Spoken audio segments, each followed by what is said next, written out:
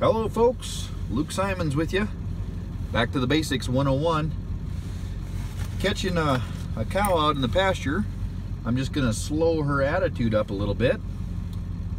1cc knockout dart.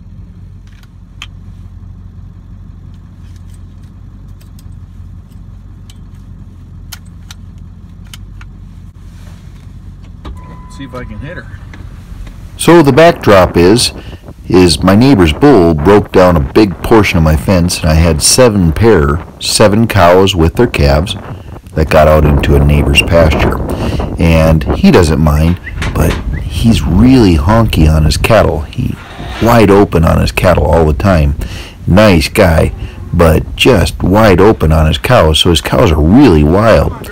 So I went out there and, and was able to get six pairs in, and this cow took off with the herd, and she's just a gentle little girl.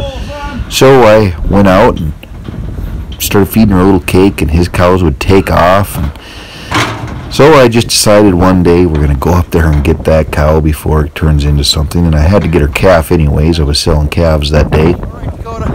Hold the rope. I'm going to move the pickup up. So this is a pretty simple way of doing it. You just give them a little bit of uh, slow down medicine, back your trailer right up to them, and pull them right in. Pretty simple. When they lay down, take a little nap, you put a rope on them, wake them back up, and put them in the trailer. If you have a strong back, this is a great way of doing it, other than setting up corrals and bringing your horses and or four-wheelers or what have you. Just a typical day on the ranch. Wanted to show you around today. Hope you enjoy. Let us know by hitting that thumbs up button and letting us know in the comments. Dakota's little Annie, Annabelle, who she raised up as a calf, um, came up open, and uh, there's not much we can do. She raised up a whole litter of calves. Dakota is uh, 16, going to be 16 soon. She's taking it very hard.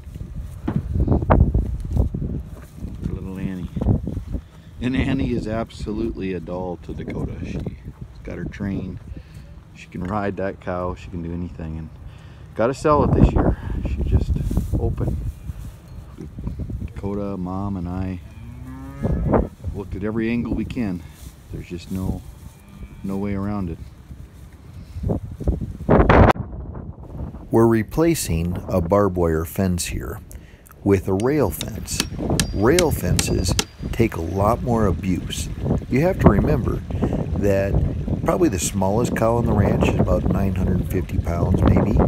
The biggest cow on the ranch is probably ooh, 1,300 pounds, 1,200 pounds perhaps.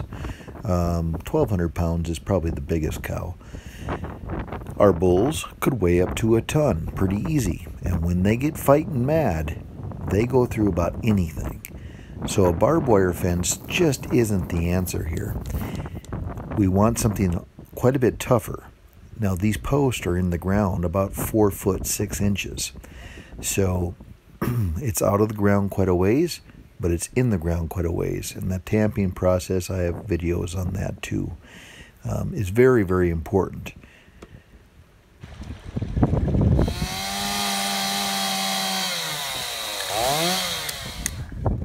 This here will give your rail a nice flat spot just instead of wanting to roll off because that's round.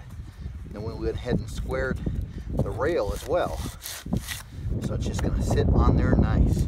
Two big, uh, what they call pole barn spikes or shank nails. Go through here. Pretty solid.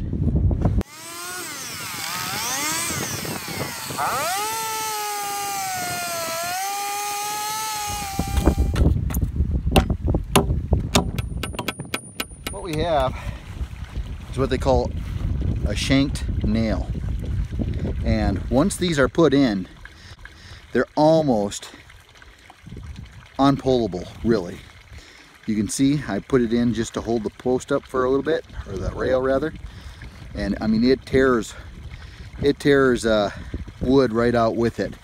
Once these are in, they are in really forever. The problem with a shank nail or a pole barn nail um, is that they are very brittle and so if you come down on your your hammer wrong, or if you're not if you're not used to a hammer and you hit this like this or like this, that can break off and I'm telling you, it will come at you at 100 miles an hour. Now, we have a pretty good healthy space here. And uh, I suppose one could say I took off too much. But I have my son, the dozer. I'm gonna have him put his foot right there and watch what happens. Like that. And we are just custom making this. Each rail to post will get two shanked nails. See how it, it's almost like it's welded.